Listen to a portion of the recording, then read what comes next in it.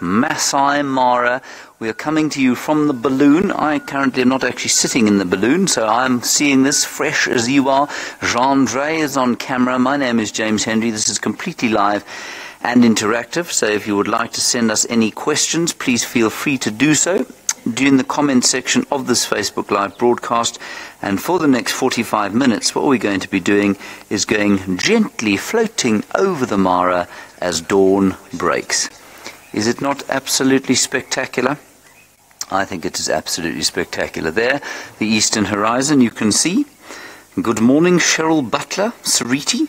Uh, lots of people coming to have a look here as we watch dawn breaking from the air. Now, the balloon is following a path from the north of the Mara down towards the south. Uh, the wind tends to blow, I think, northeast towards the southwest during the course of the morning. We seem to have a little bit of picture break up there, a couple of color bars. Mm. Sorry about that. Should come back now. A couple of technical difficulties.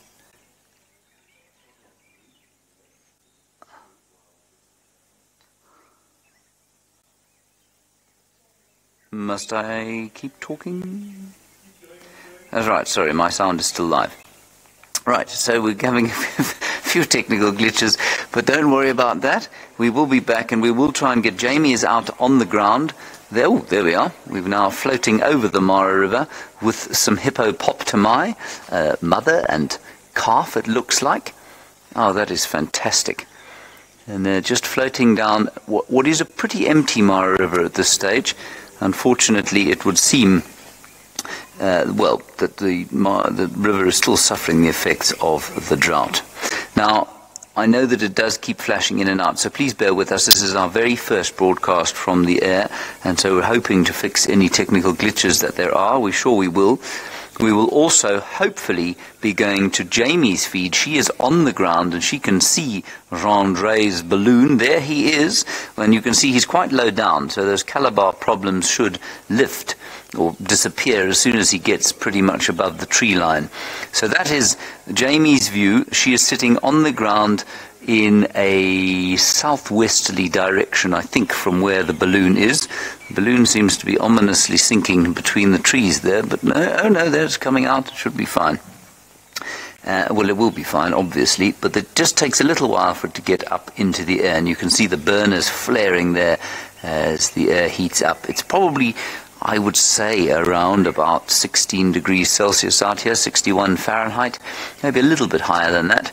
And so it's just taking a little bit of time for the vast amount of air in that balloon to blow and get warm. Now, there, of course, we have the lions that are sitting with Jamie, or Jamie sitting with them. She's been with them since roughly, oh, I think probably four o'clock this morning.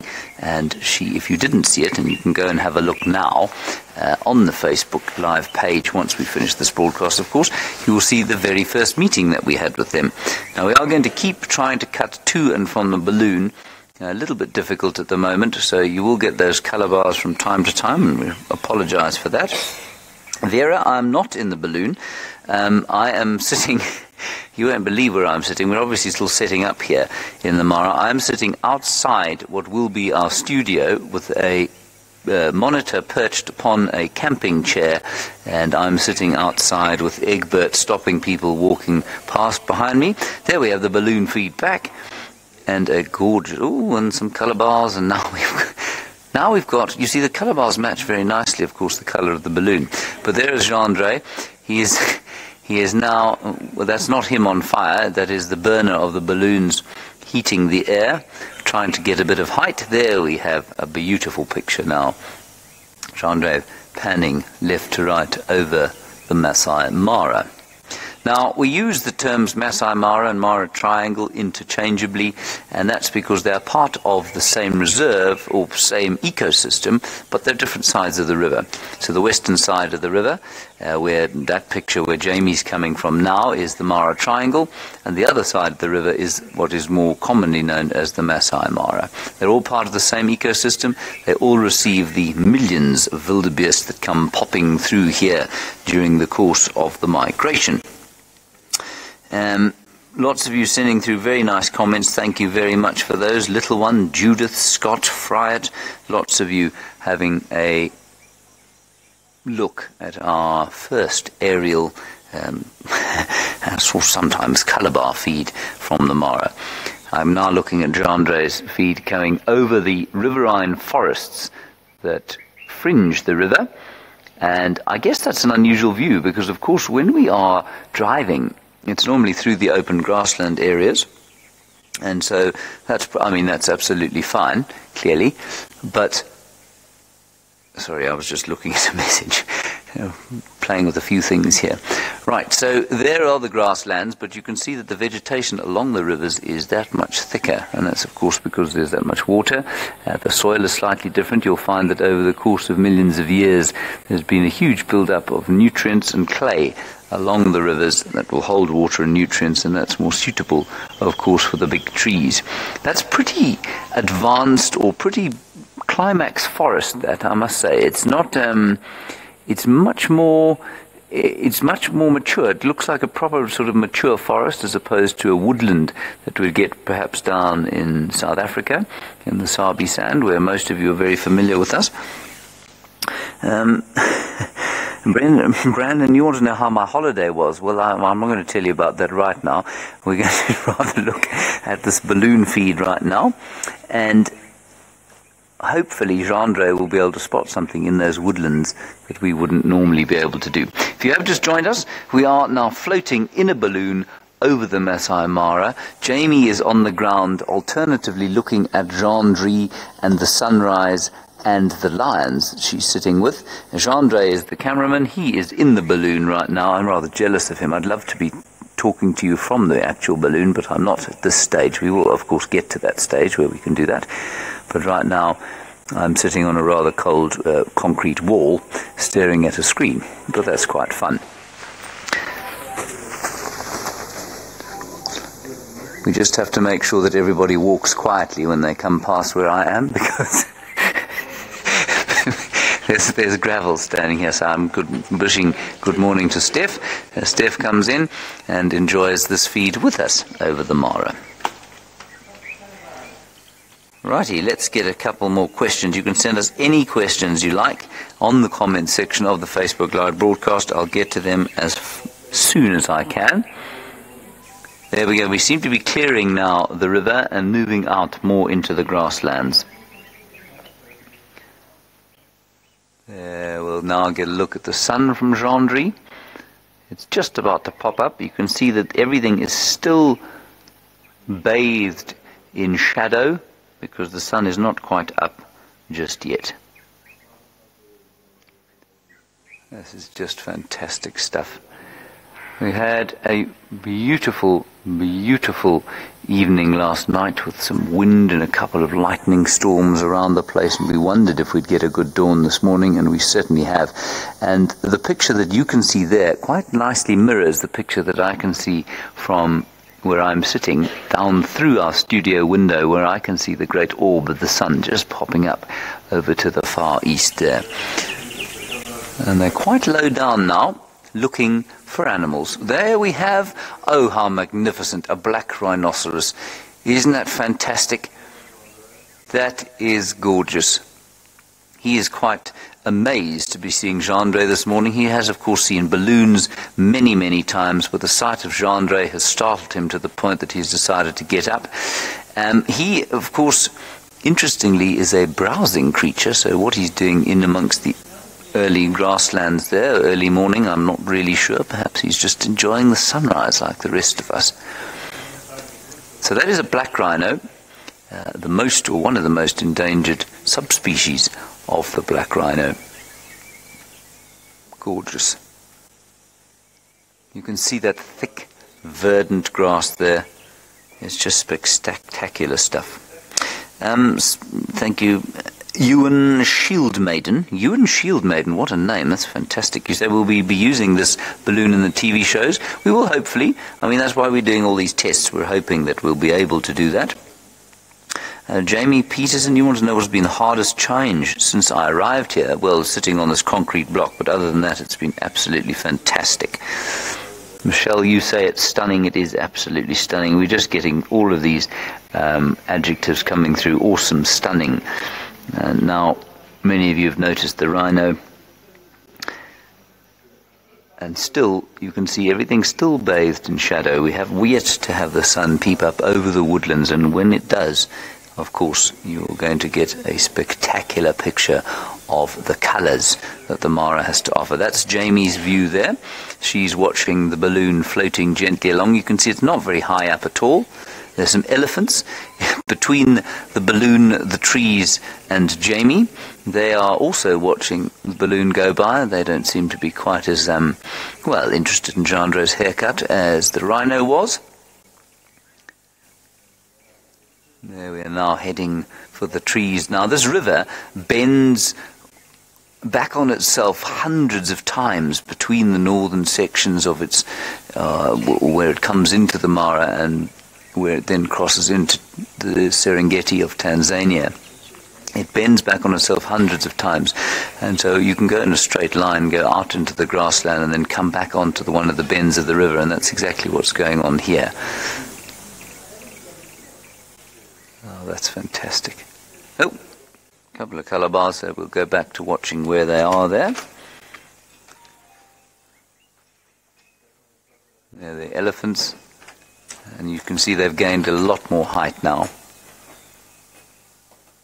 Look at the different colours. You can see the sun just starting now to touch the tops of the trees, and suddenly what was a fairly sort of dull greenish colour is now morphing into hundreds of different green colours. There it is. That is somebody taking pictures. I don't know who that is. There could well be guests in the balloon with Jeandre. There, the sun has come up. Isn't that just too wonderful? I'm very jealous of Jeandre, I must say. I think he's going to be grinning from ear to ear. There you can see one of the bends of the river. That's quite nice there. Um, just off to the right hand side there, you saw the bend in the river and you saw where the grass met the woodland. Now, what have we got there? Elephants in amongst the woodland. I think they spend a lot of their time midday and probably the evenings in these woodland areas, eating the trees. Certainly, yesterday, as it started to get hot, there were lots of herds of elephants moving out of the grasslands into those woodland or riverine forested areas. Oh, that's gorgeous. That really is very nice. I think you should all send me through perhaps a one worder into the comment section here uh, with an adjective of what it makes you feel like. So, what does it make you feel like to look at the Mara from the air like this? Santiago, you said amazing. Jessica, you're all saying good morning. Thank you very much for all of your greetings. That is Jamie's picture again. It looked like a starling of some sort flying in between the balloon and the trees and the elephant and the great sky beyond. I think the lions are probably still there. And you're just going to see, like I say, the colours start to change. Now, we're going to be on this broadcast probably for the next, well, I don't know, 45 minutes until they land. So don't worry, it's not going to end quickly. You can retrieve yourself a cup of whatever it is and just enjoy as we float very gently across the Mara. Terry Wilson, you say breathtaking. That it certainly is. And Ayok, you say soaring. Valerie, you say blessed. Yes, absolutely. Aren't we blessed? Betty, you say it's extraordinary, absolutely. Angie Schwartz, you say serenity is much breathtaking. Peaceful, yes, it is. And, you know, soon we'll be able to get some sound from there too. And what that will give us, of course, is just that floating, it'll really amplify the floating sensation that we're getting now. This is, like I say, if you have just joined us, our very first foray into live balloon broadcasting. And we're having a wonderful time doing it and hoping that you are enjoying it with us too. Any comments you'd like, just put them in the comments section of the broadcast. And Magda, you say this makes you feel humble. Absolutely, it makes me feel rather the same. Janet, you say sad. You've just home from Africa, less than 24 hours, and ready to return. Sorry about that, Janet. John, that makes you feel fa- fabtabulous, really. Well, there we go.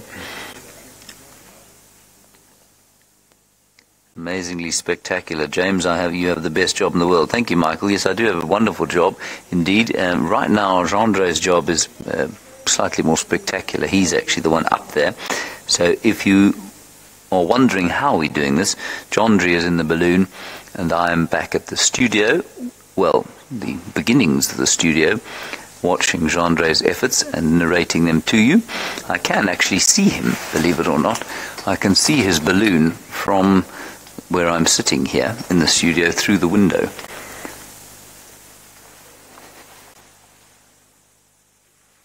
Oops, which makes me feel even more jealous. Um, and then we're also showing you every so often shots from Jamie's vehicle. She is sitting sort of southwest of him. And there's Jamie's vehicle there. She's watching lions playing on the road.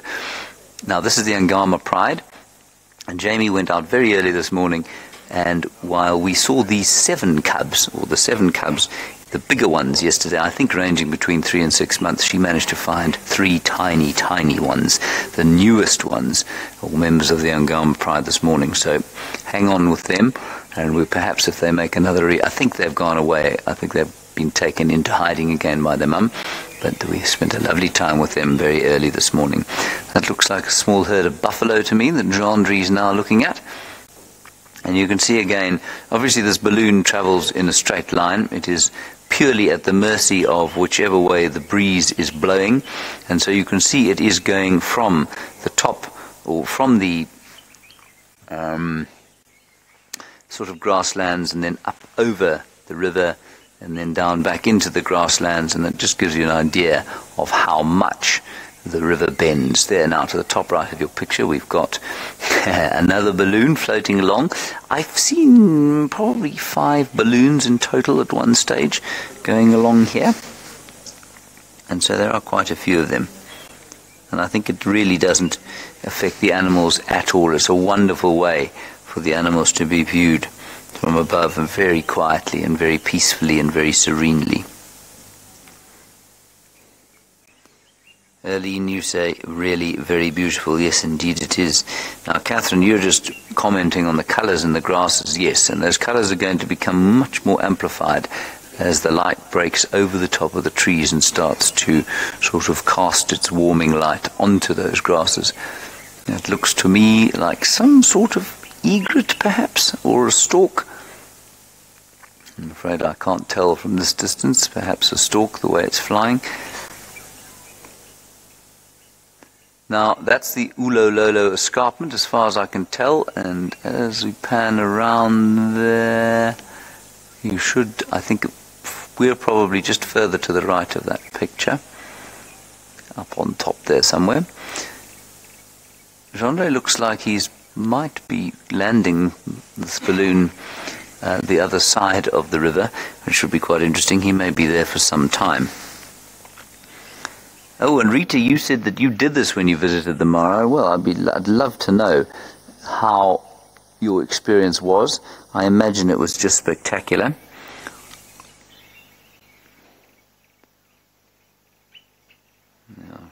And any questions, please send them through.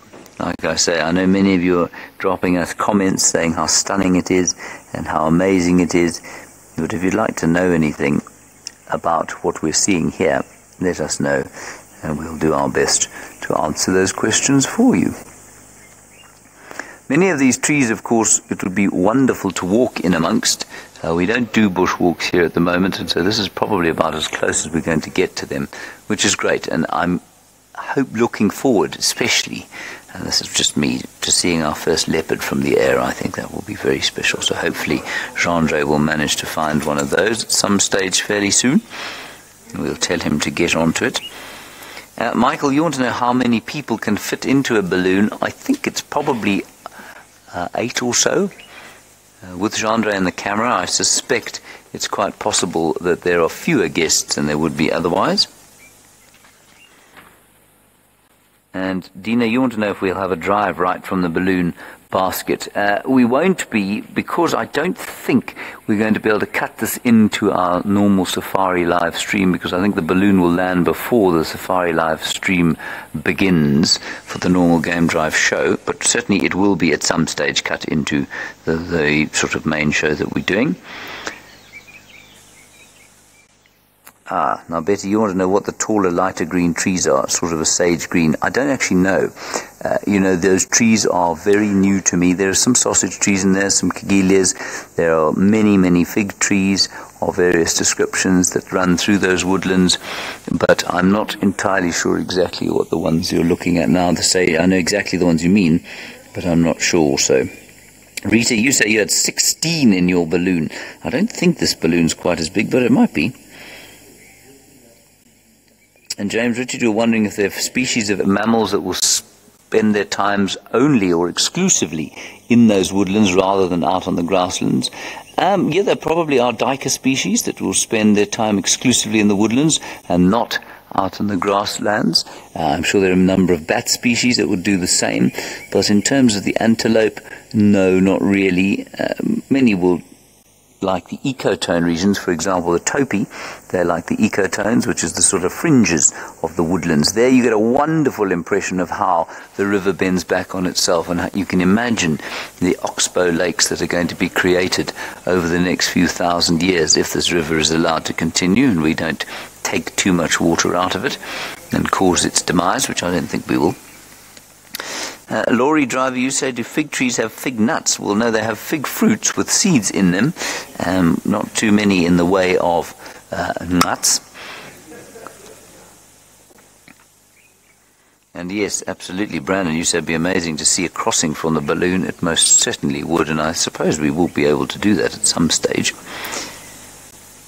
Oh, Mar- Mary Miller Bupple? Mary Miller Bupple. You say, do they have seasons in the Mara? They do, but it's very, you know, we're very, very close to the equator, and so the climate is very consistent out here. You basically have two rainy seasons, though, so they don't really talk about things here in terms of spring, summer, autumn, and winter, but in terms of the long rains and the short rains, and therefore the long dry and the short dry. And we've just coming out of the long rain period, which turns these grasslands from pretty short grass plains into these sort of waving long grass. Um, I, mean, I hesitate to call them plains again, but I suppose they are. And we had the most spectacular afternoon yesterday with those lions that you were just watching now hunting in amongst the tall grass in broad daylight. And so the long rains really do completely transform the landscape into and completely change, of course, the way the animals behave out here. Marco, you say tis quite lovely, tis indeed quite lovely. And then Santiago Mendez, Yvonne, you want to say we're going to be broadcasting from the Mara during Earth Live? Yes, absolutely we are. We are one of the feeds. I'm not sure how many, I don't think anyone knows exactly just yet how many feeds there are going to be for the Earth Live broadcast. And if you don't know what that is, it's going to be the biggest live wildlife broadcast in history, broadcast on National Geographic. Um, on the 9th of July, I think it's the 9th of July, and that's going to be coming from wildlife locations throughout the world. So it'll include bears and bull sharks and uh, hopefully a couple of whales and certainly hopefully we're desperately hoping that we'll have a live lion kill or certainly some live lion action that night. It will be night time here. We'll be broadcasting at I think it's three o'clock Eastern African time. So you can work out whatever time that is where you are in the world. There are some impala And they're having a little bit of a drink and a graze. They'll have a little drink. Water, Impala, of course, massively water dependent, and so they are one of the sedentary creatures that live around this area. There we have the balloon moving very gently south. There's hardly a breeze to speak of today. And there's an eland with a tiny baby eland. Oh, that's so special. That is the very largest antelope that we get here. And you see how the eland is herding protectively the little baby away. Now, in case you're just worried that this is a little bit insensitive, uh, you know, it's obvious that the balloon is creating a little bit of fright, but the balloon pilot can do nothing. He cannot move that balloon. He cannot avoid what he's doing there. He's just floating with the wind. And make no mistake that Eland baby will become completely comfortable with the balloon over the next few years or so. Just going to take a little bit of time to get used to it, and you can see how the mum is shepherding it along. And there you can see the changes in the grasses. You can see how long they are, and you can see the golden tops and the green below.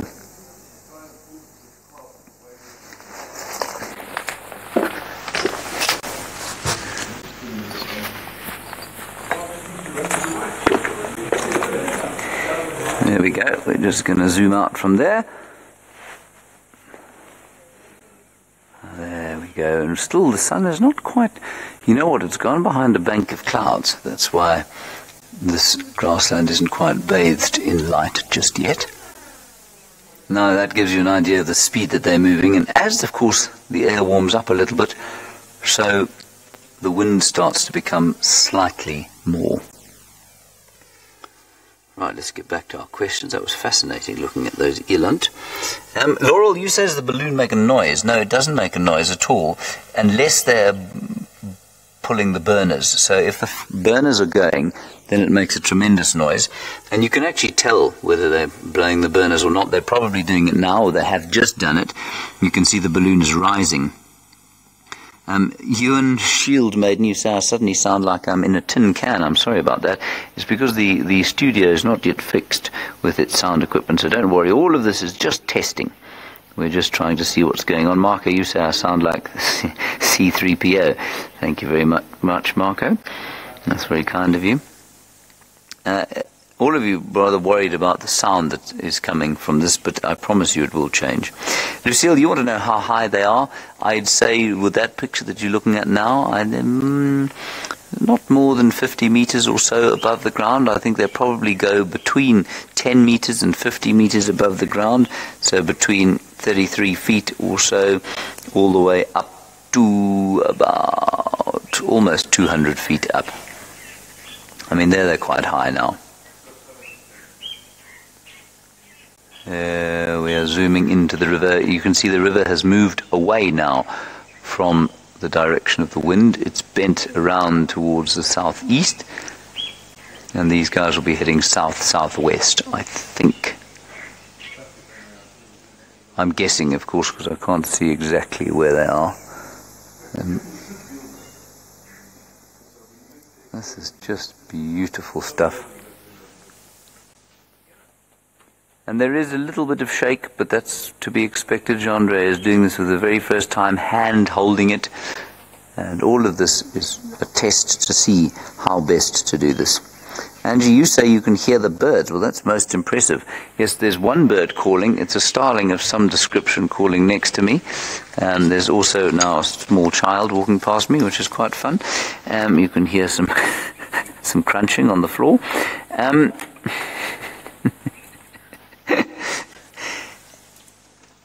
Jessica, you said hello, Stephanie. Yes, hello, Stephanie.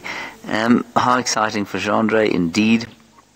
And then you were wondering how the chase vehicle picks up the balloon. He follows it, basically. He's following the line of where it goes. They've got a vague idea. You know, they've been doing this for so many years that they've got a pretty good idea of where that balloon's going to land. I hope for Jeandre's case that nothing untoward or strange happens today. Uh, yes, indeed, a car is picking them up. So Peter Braat, who is our technical uh, director, he is currently driving along, uh, frantically make, trying to make sure that he is on a road that will take him to the place that Jeandre lands. Otherwise, Jeandre is going to be spending a rather long time there in the bush. He's not very upset about that, of course, because at the end of these balloons rides, there is a spectacular breakfast uh, thrown thrown about by the little governor's camp. Uh, people, and that's from where Jean took off today, from Little Governors, which is a camp up in the north of the Mara Triangle. And so Jean is quite keen to be left with the guests and the spectacular breakfast, so he's hoping Peter Brandt will get lost on his way to find him.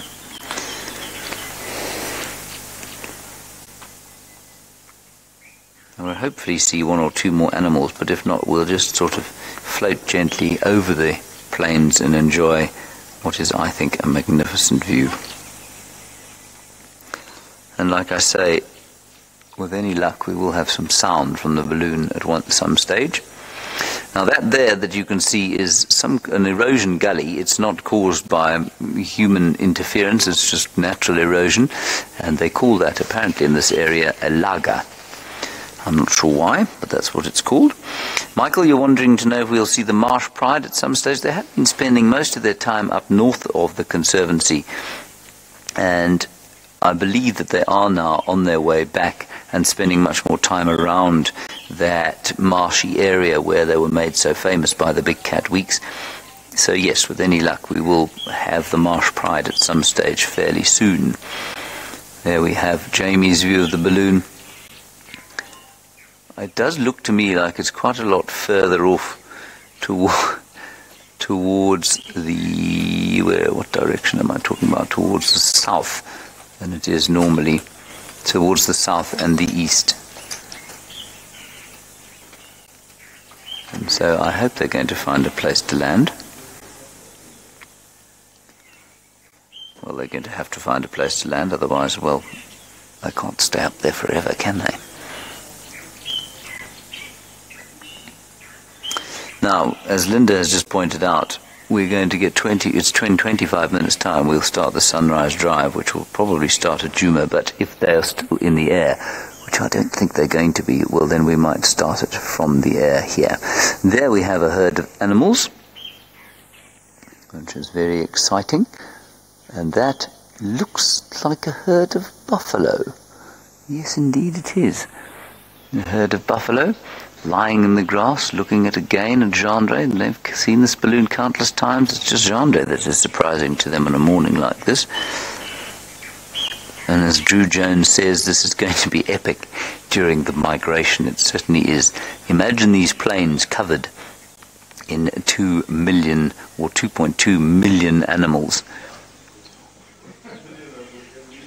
One and a half of those wildebeest, and then the bulk, the rest of them bulk made up of zebra, and then there are Thomson's gazelles as well, and a whole lot of eland that move along with that vast swathe of animal life.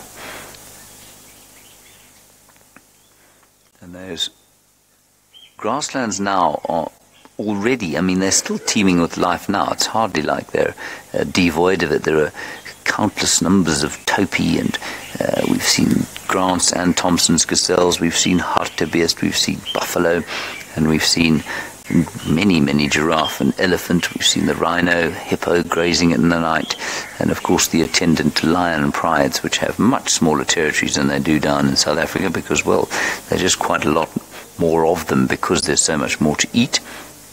And that, of course, despite the amazing amount that we're seeing at the moment, it's going to increase exponentially once the great herd arrives. Now, what has Jeandre spotted there?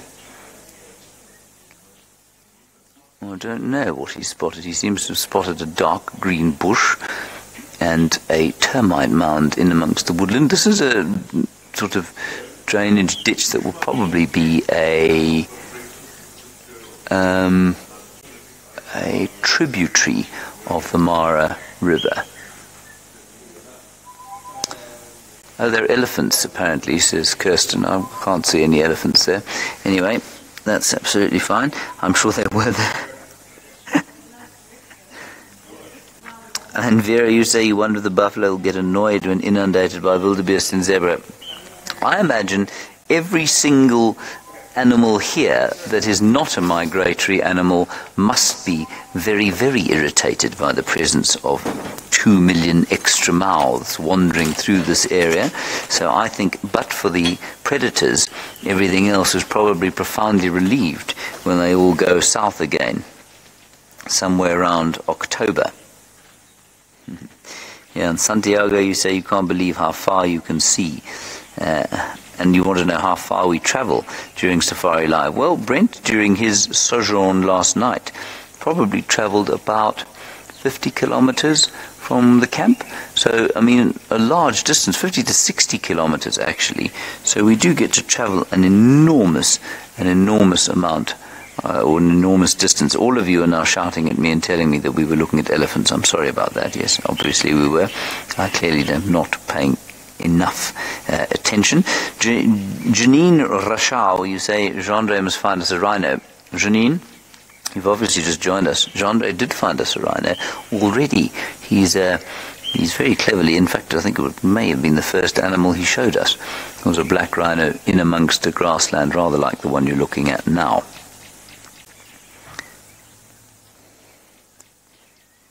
Oh, now, James Richard, you say you love the drone views that we get, but you think the balloon has an edge because it has a more peaceful floating feeling. It is different, isn't it? I mean, eh, one aerial is not the same as the other. Uh, I, I like both. I think they're both great. But the wonder of this, of course, is that there is no choice as to where the pilot goes. He has absolutely no choice. So he's just got to float along. He can go up or down. He cannot go at all, uh, sort of left or right. There is no mechanism by which he can do that, and so that brings or, or stop the balloon, and so that brings with it, I think, a really nice sort of flavour. There's we just see what we see. We can't track anything. We can't follow anything. We just have to float over the landscape and see in this random transect what we have, what it has to offer. There, a small impala herd. That's probably about the average size of an impala herd for this area. And if you're used to our Sabi Sands broadcast, of course, you'll say, oh, that's a small impala herd. No, it's about average for this particular area. Tony, you want to know if there are any indigenous tribes in this area? Oh, you, absolutely, there are many, but the dominant tribe of the Masai Mara is unsurprisingly the Maasai, and they will form into various clans, some of which uh, will not quite be warring, but you know, there's always interesting conflict where any kind of clan um, system exists.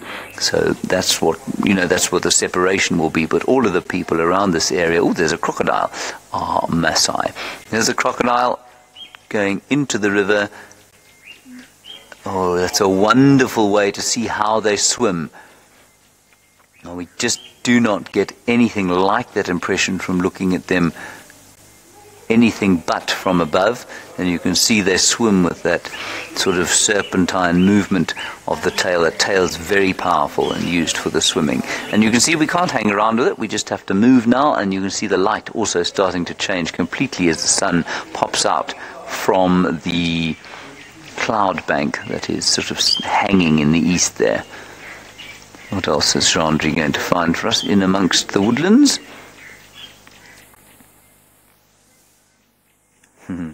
and Joanne, you said it's the best view ever of a croc. I have to agree with you. I think that was the best view that I've ever had of a crocodile. Because you can see them swim like that.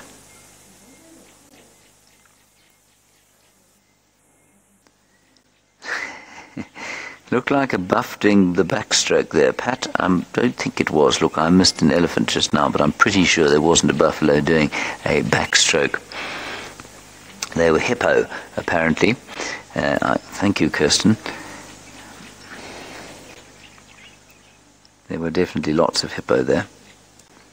And Aaron, you say a view of a giraffe would be cool. Yes, it would, absolutely. Um, you say how far the migration herds from your location now? It varies. You know, they it's a misconception that the migration is a situation where you know all of the animals move in one line, come up into an area, do what they have to do, turn on and go back again. They come up in waves, sometimes an enormous wave, sometimes in drips and drabs, sometimes late, sometimes they come in and disappear again and then come back again. So it really is quite difficult to predict and quite difficult to follow. But we have had herds of the Vang, or reports of the vanguard of the herd somewhere around the Sand River, just to the south of Sala's camp, which is in the Masai Mara at the southern end. And so we think that they could possibly arrive in to this area that you're looking at right now uh, earlier than they did last year. We're pretty sure that they're going to do that, uh, but we don't know for sure. And we are more sure that they will be in the southern reaches of our traversing area earlier than they were last year. And our traversing area here, uh, well, I mean, in terms of square kilometers, is probably about, well, let me just do it in hectares for you. We're probably sitting at about 100,000 hectares of traversing at the moment, which is 1,000 square kilometers, which is therefore about 600 square miles of traversing, which is quite spectacular. Isn't that nice?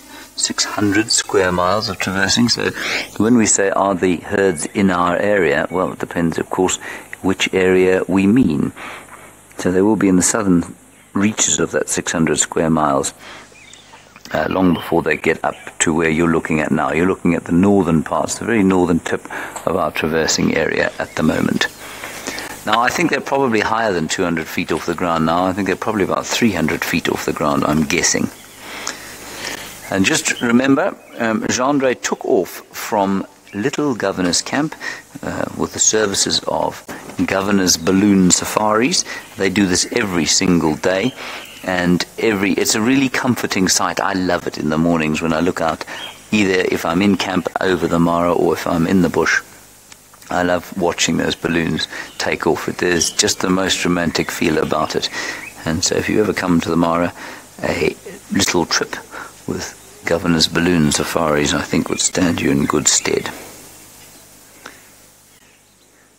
You say, Pat, you say fabulous camera work. It certainly was. Trisha, you say thank you for sharing. Well, I mean, it's not really me.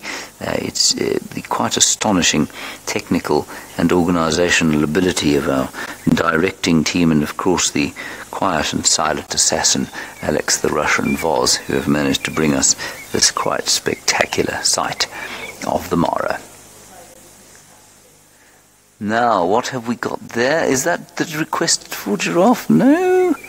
Oh, there's a wildebeest. They don't seem to be migrating anywhere, and I suspect they might be a very sad little group because they could possibly be part of the very small herd uh, that was chased and unfortunately uh, lost one of their youngsters to the Angama Pride last night or yesterday evening.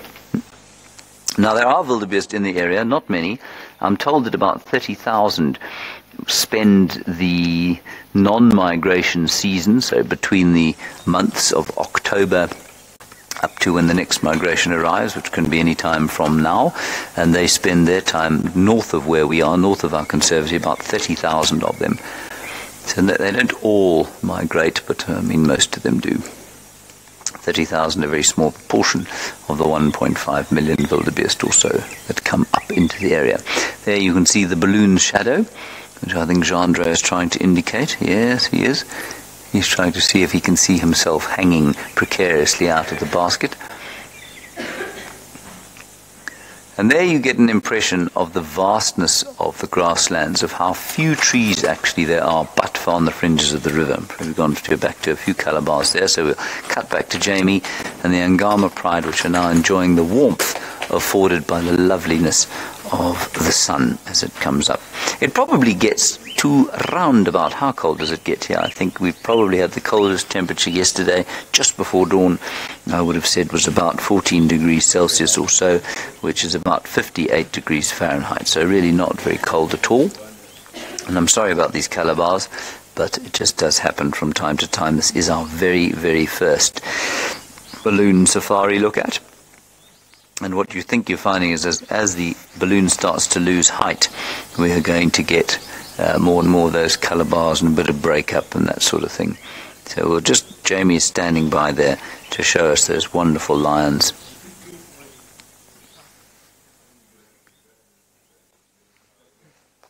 Isn't that gorgeous?